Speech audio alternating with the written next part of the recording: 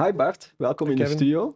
In the second webinar, and we teased it already a bit in uh, in the first, we're gonna talk about GDPR, and then I can imagine a lot of people are thinking GDPR Not again. again.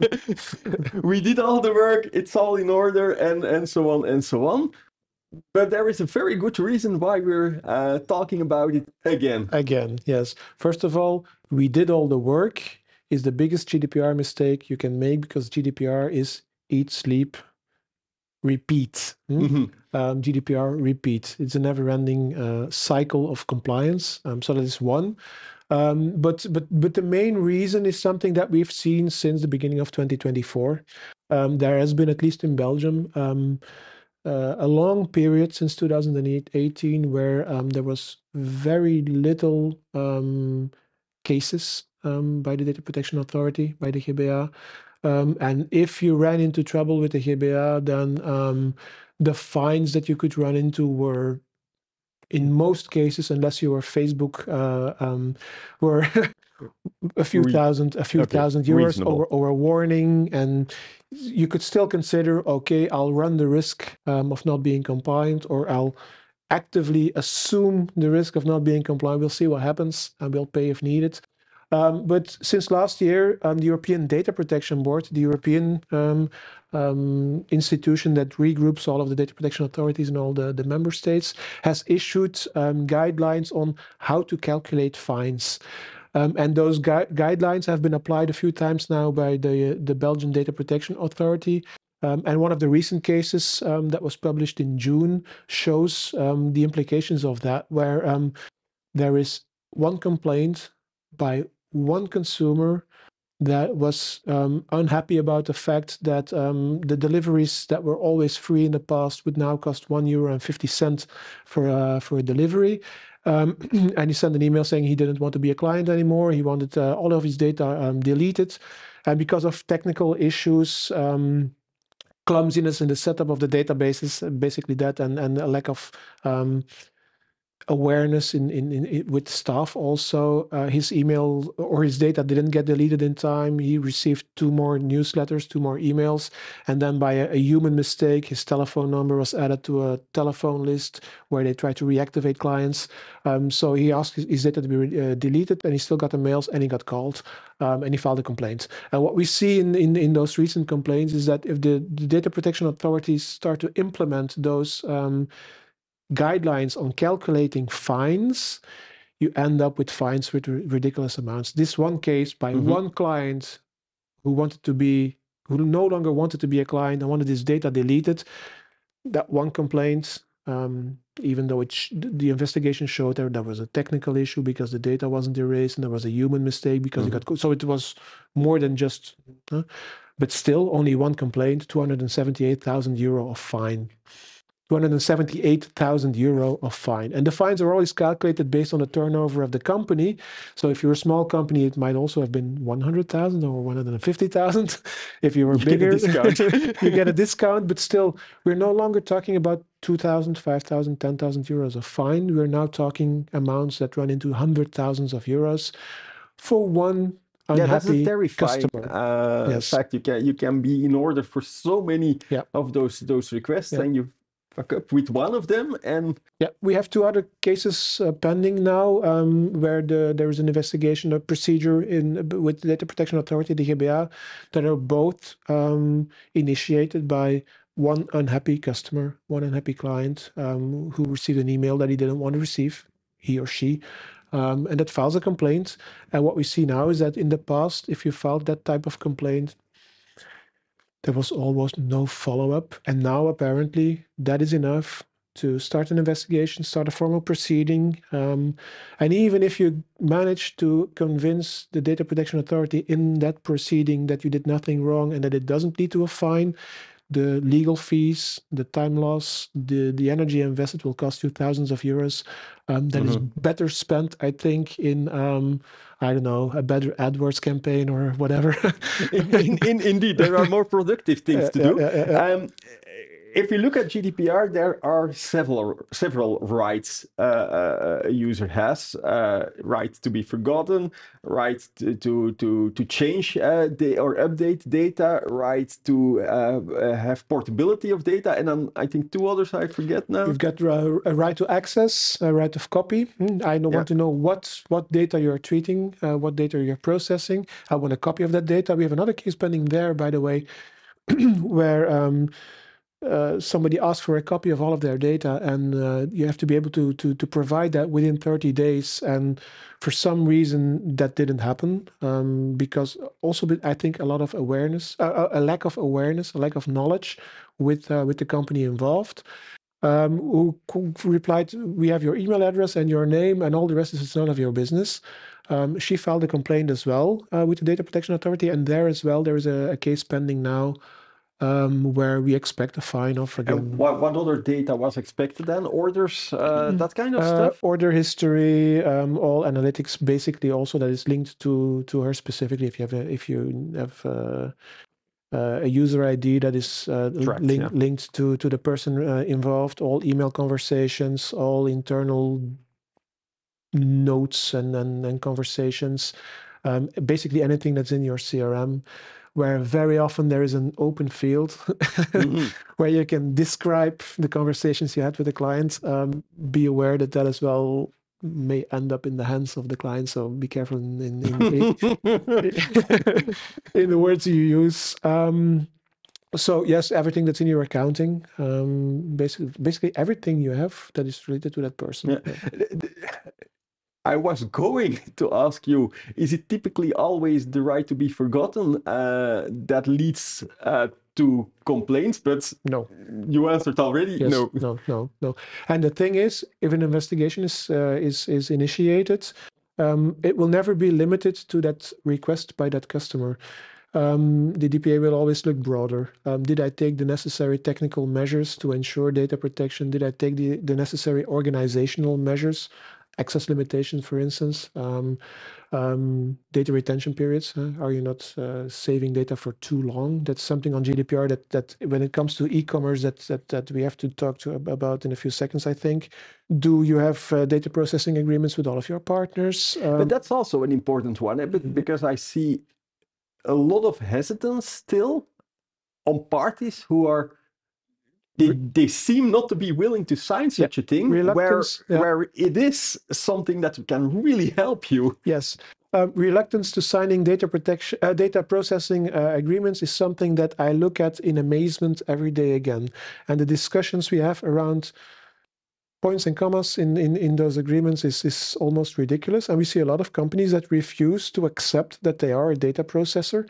I think that very often it is, as, as with all things GDPR, a lack of knowledge, but also some kind of um, professional proudness in which they don't want to be just a processor. They want to be a controller because that sounds more fancy. Uh, very often it's that. I think we've had a discussion with a few um, lead generators, for instance, uh, with uh, um, a few affiliate marketing um, uh, agencies that refuse to see themselves as a data processor, whereas it's very off, very obvious that they are generating leads, processing data on behalf of, in execution of an order that was given by the client, Mhm. but they refuse to sign a data processing agreement. And there as well, you have to know that there is a decision by the Data Protection Authority that dates from November last year, in which they very explicitly say that starting a collaboration without a priorly signed data processing agreements will lead to the liability of both parties involved. Um, so not only the data controller, but also the processor can run into fines by the sheer fact that there is no data processing agreement and that it wasn't signed before starting the work. And that is an issue Mhm. very often where the, the work is already started, the project is finished, and then, oh yeah, by the way, we still need to sign.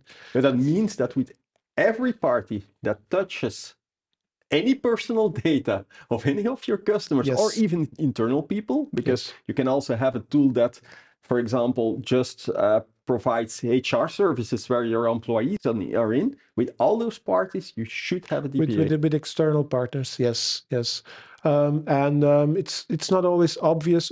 One, what you need to do is document. You need a, a, a vendor assessment um, where you list all of uh, the parties that you work with, where you examine if there is any personal data being exchanged or accessed, where you also examine where the partner is located outside the EU or not, where you examine if there is a data processing agreement in place, where you try to check that data processing agreement that is offered by the vendor um, on a, a, checklist that you've established for yourself with minimal requirements. Huh? What do I need in that agreement to make sure that I am covered?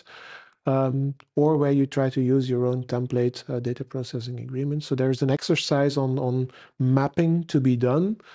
Um, and uh, also awareness to be raised with the partners that you work with, trying to explain to them that it's everybody's, uh, it should be everybody's uh, concern to have the agreement signed because everybody um, runs into uh, potential risks by not signing it because of the fines, but also because of the, the risk of a data breach at some point. Uh, and eight out of 10 data breaches occur with partners, not with the data controller, but with the data processor.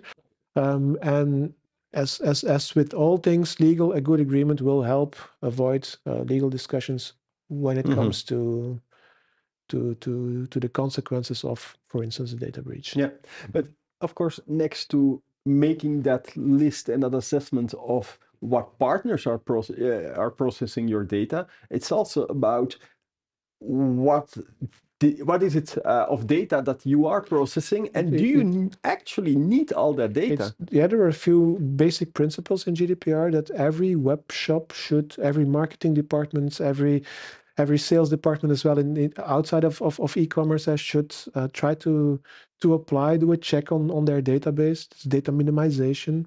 Gdpr always starts from the idea that less is more.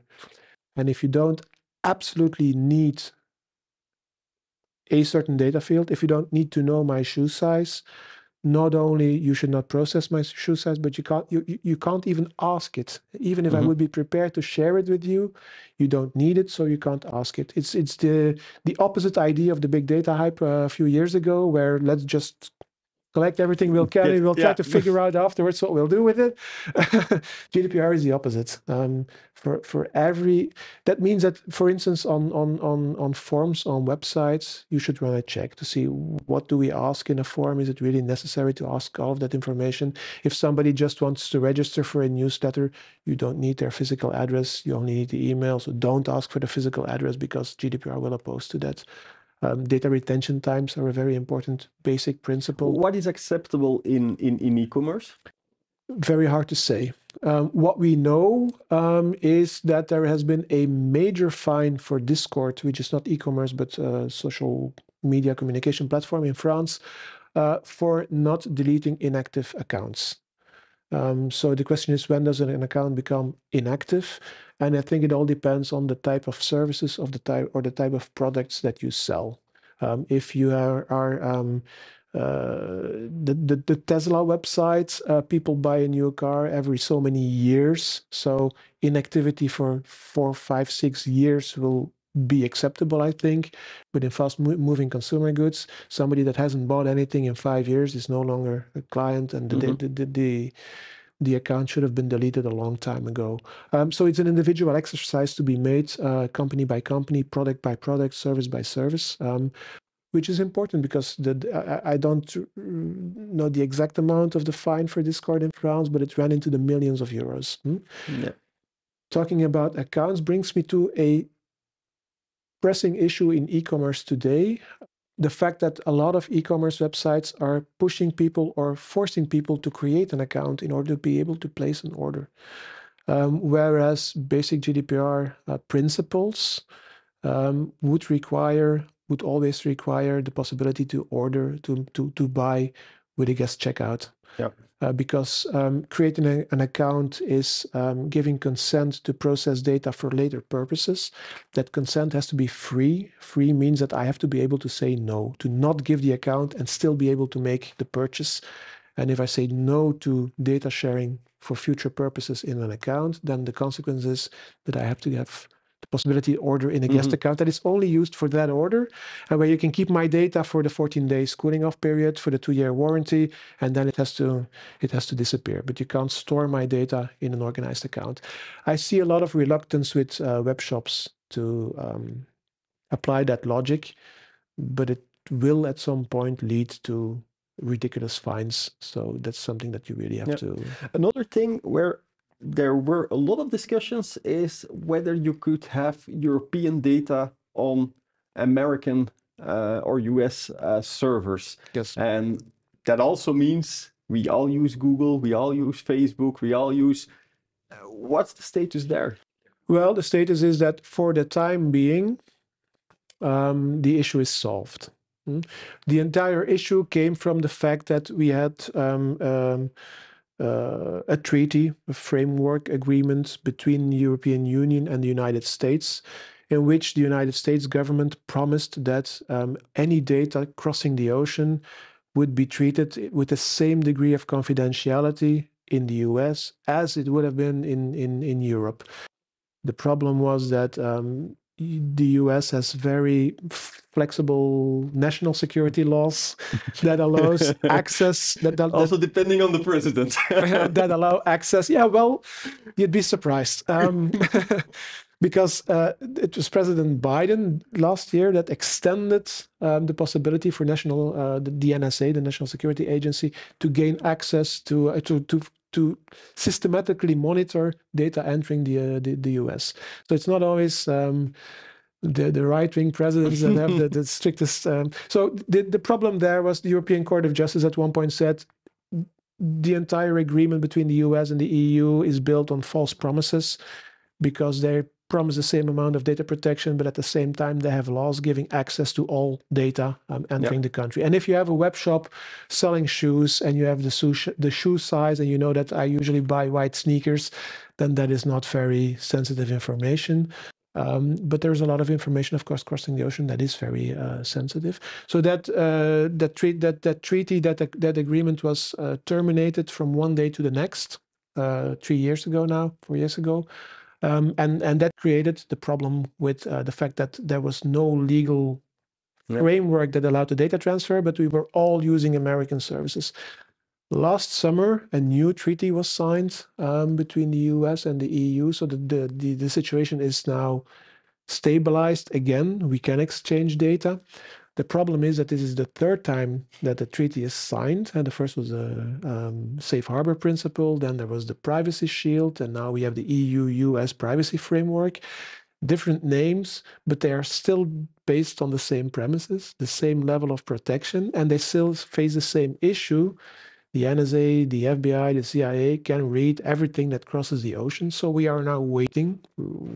GDPR specialists, legal um, uh, specialists are now waiting for the first complaints to be filed and to reach the European Court of Justice, where the same decision will be taken most likely next year Does or in it help years. that in the meantime, uh, a lot of states in, in, in the states are also implementing some sort of GDPR law? That's yes, but that will not solve the problem because the, the main issue, the main problem is national security laws in the US. Mhm. Um, and as long as they don't change that, as long as they can't make sure that um, they only access data in the context of specific um, anti-terrorism uh, investigations with a prior legal um, authorization by a judge, uh, limit to certain, if there are uh, safeguards that make sure that all of our data is private unless now the, the, the parting point is everything can be scanned. hmm? Yeah. Um, as long as that issue isn't solved, the issue won't, won't, won't go away. So that means that today you can use Google Analytics without an issue. You can use um, uh, um, Office 365 without an issue. You can use uh, Mailchimp. I mean, all of all of uh, everything that's US based is okay for the time being, but always with um, the, the the pending issue um, that next year or in two years um, you may be faced with the same problem and you may have to shift to European uh, um, providers. So our legal advice um, to our clients has been for the past three or four years to run a good check on um, on the the suppliers that you want to work with, see if there is any data export to the US. Um, if there is, try to see if there is an alternative that is EU based. Um, and if there is, and it offers the same um, specs and it has a similar yeah. price, then use the the EU based uh, alternative. Or make sure it's stored on European servers at that, least. That's all. That that's yeah. that's the first thing. But even there, um, if the data is stored on European services, but by an, Amer an American company, US um, security laws will still um, contain clauses that force those American companies to give access to data stored on European uh, servers. So that is no absolute guarantee. Also be aware that the issue is not limited to the US. If you work, if you export data to Australia, Japan, South Korea, South Africa, whatever, um, the same issue will arise. So what you have to do is have a good we come, we come back to the the vendor assessment that I talked about before. You need to know who you're sharing data with. You need to know where they are, and you need to make sure that it is legally covered. But in some cases, uh, Google Analytics is, is, is, is, is a choice because you have good alternatives. But if you want to do business online, you need, for example, uh, Google Ads uh, and, and, and, and things like, uh, like that and that kind of services. So it's also a very fine balance to make. Sometimes you need those those I know, services. I know, and it's very easy to replace your Google Analytics by um, by by a Piwik PRO, Matomo, um, um, by, by by a few other uh, good um, uh, analytics tools that are in the market. Um, but indeed, if you're in the Google um, how should I say ecosystem, then it's very hard to to shift from just to Google Analytics to another service because it will have an impact on your on your online marketing, and it's not an easy decision to make for a lot of companies. Um, I know, uh, and but in that case, at least you should be aware of the potential impact uh, from a legal perspective. You should be aware of the instability of the situation. Um, you should be aware of the potential fines, and if you know what you're getting into, at least you can yep. calculate risk. That's that's that's an important one, I think. Indeed. Anything else we need to add on the GDPR topic? Well, the important thing I think is the warning for um, the uh, the accounts. Um, don't make people uh, create an account. If you do, deactivate them in time. Very important. What we've seen over the past few years is also the the the, the, the deletion uh, if needed. Hmm? Yeah. Um, what I said, the, the very first remark I made, um, GDPR is not something that you do once um, and uh, we are compliant now. We did the necessary work. It's a continuous exercise. Um, basically, every new um, initiative you take, every new, um, we're going to. Um, we didn't have an app so far. Um, everybody does, mm-hmm. but anyway, we're going to launch an app now make sure to have the legal check done, the GDPR check before you get started. Uh, we're um, moving from uh, the old website to a newer one. Um, make sure that you do the, the GDPR exercise uh, up front. Are we going to process new data? Are there new vendors? Is there new technology involved? Is there anything that we need to document in time?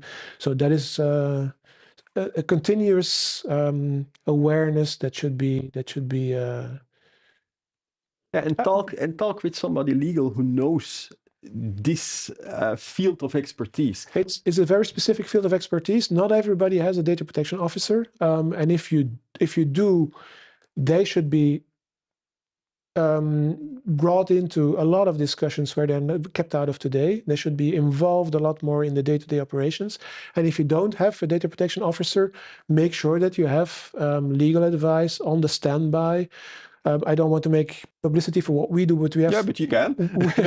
we have a, a, GDPR help desk service where you pay a fixed amount um, uh, on, on on a monthly basis to have permanent access for every stupid little question. Can I do this? Is it okay to do that? They want me to sign this agreement. Is it okay? So that you can make GDPR compliance part of your day-to-day operations mm-hmm. um, because uh, we talked about the amount of the fines it's ridiculous uh, to, yeah. to run re- uh, financial risks um, and what is very important i think for as for, for a company what should motivate you as a company is um, and I've said this on so many occasions, that is that in an online uh, environment, it's very hard to gain people's trust. And what you want to do as a company is make sure that your clients are um, returning clients um, in the long term that will trust your, your brand, that will promote your brand, that are ready to share data with your brand because they trust. mm. Mhm. And the more you know about people, the more relevant your message can be, the more uh, uh, precise your message can be, and the more trust you will generate, the more sales you will create. So it's it's a it's a circle uh, of of trust that has to build. GDPR is at the core of that trust. Data Mhm. protection is at the core of that trust. So it's not only legal compliance, it's using data protection laws that a lot of marketeers see as a constraint, as an obligation, using it as a tool And as an to, opportunity. to an Yeah. opportunity to grow your business. Okay. Thank you, Bart, for You're all those insights. Hey at home, thank you for watching. I hope to see you in the next webinar.